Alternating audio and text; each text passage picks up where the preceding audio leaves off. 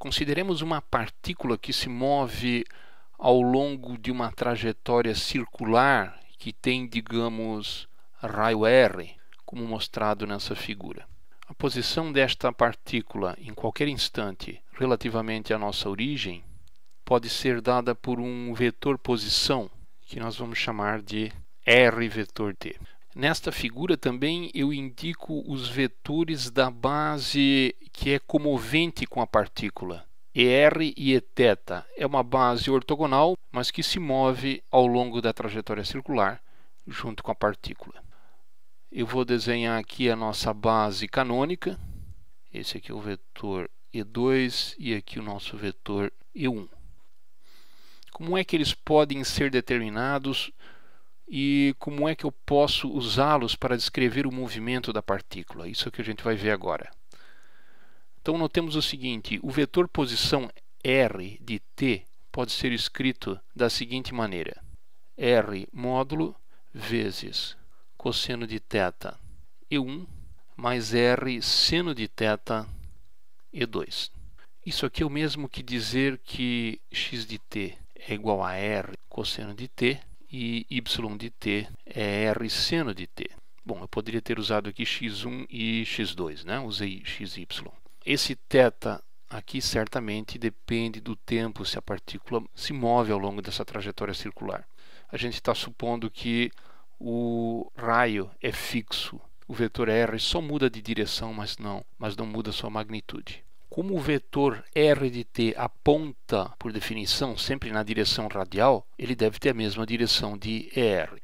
Isso sugere a definição do vetor de base ER de t da seguinte forma: cosseno de θ E1 mais seno de θ E2. De modo que R de t agora pode ser escrito como R vezes ER de t.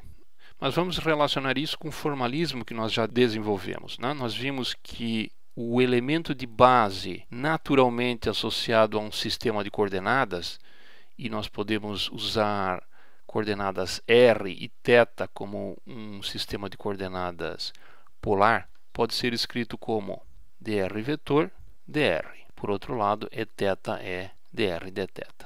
Então, o que é que nós temos aqui? Bom, dr dr é simplesmente cosseno de θ e1 mais seno de θ e2.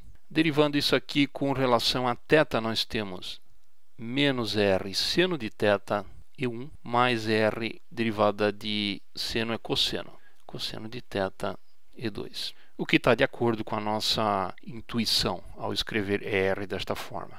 A velocidade da partícula pode ser escrita como a derivada do vetor posição r com relação a t.